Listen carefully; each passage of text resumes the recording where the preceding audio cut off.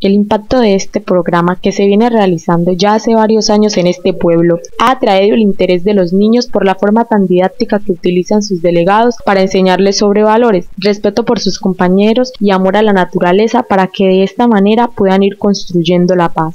Yo creo que no sea tan la UNICEF que está dando un regalo a Chocó, eh, sino Chocó que está dando un regalo a UNICEF, eh, con todo este, este entusiasmo, este compromiso que los jóvenes de este colegio y también las autoridades eh, locales están demostrando en favor de la construcción de paz. La iniciativa se llama La Paz es una nota, hace parte de esta, de esta iniciativa.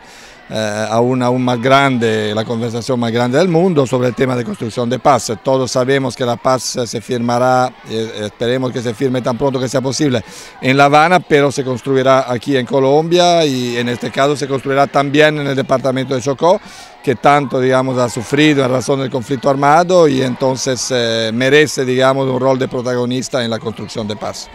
El alcalde de Novita, Deiler Camacho, habló con nosotros y nos contó cómo para estos niños y para la comunidad en general la presencia de esta entidad ha generado mayor interés por la paz y a partir de qué debe construirse. Pues la verdad es un motivo de agradecimiento al gobierno nacional y es un motivo de, de mucha alegría para nosotros como noviteños, ya que pues venimos liderando acá una campaña, La Paz es una nota y para nosotros es de vital importancia tener acá eh, este prestigioso grupo de profesionales apoyándonos y respaldándonos en esta campaña. De igual manera podemos contar con la presencia de una actriz muy famosa, Marcela Carvajal. Entonces, esos son motivos de incentivación que en realidad eh, a nosotros como noviteños nos enorgullece y nos da la oportunidad de nuestro de más profundo eh, de, nuestro más profundo corazón, brindarle el agradecimiento al gobierno nacional y por supuesto a cada uno de ustedes que nos acompañan esta mañana. Finalmente, el programa ha creado conciencia en los estudiantes de la institución Carlos Holguín Mayarino, puesto que todos llegan a la conclusión de que el programa les ha servido para conocer los problemas de sus compañeros y así entre todos poder darle solución e incentivar a la paz. Si todos nos comprometiéramos a dejar todo sobre la violencia y sobre todo lo que nos hace daño. Bueno, resolución de conflictos es como unir, mm, unirnos todos y decir todos los problemas que tenemos y así vamos encontrando la paz y vamos resolviendo todos los conflictos que hay en Colombia. Y sí, que haya respeto y tolerancia también, uno también tiene que tener mucha autoestima. Todos esos valores uno los tiene que practicar para poder haber paz en Colombia.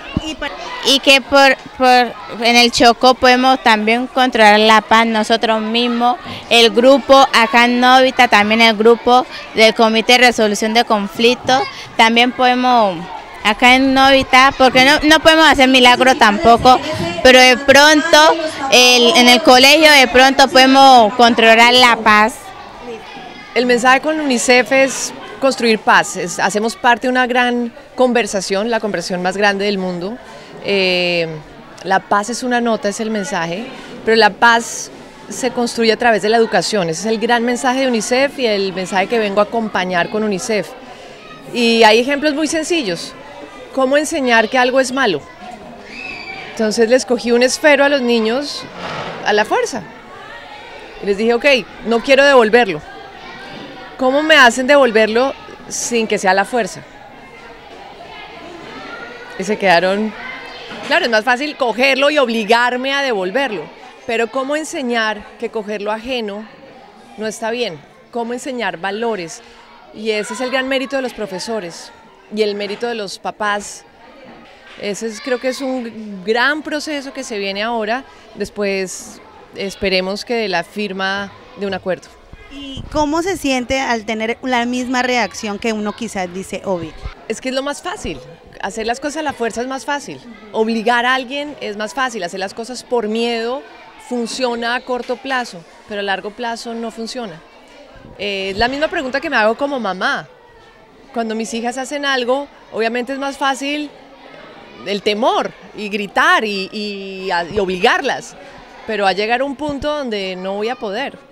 Entonces, ¿para qué hacerlo desde ya y no comenzar como a construir un diálogo y a construir eh, una posibilidad de, de que nos entendamos, obviamente desde sus cerebritos que están en desarrollo, para construir valores, para mostrarles que coger lo ajeno, por ejemplo, no está bien, que obligar a alguien a la fuerza no está bien, eh, a que respetar está bien. ¿Y cómo respetar? ¿Cómo es escuchar al otro? ¿Cómo es también hacer respetar lo mío? Eh, es toda una construcción de conocimiento y, y en esta región, por ejemplo, mira este, esta escuela, mira este colegio, lo está haciendo. Y esto se debería hacer en toda Colombia, en los sitios más apartados.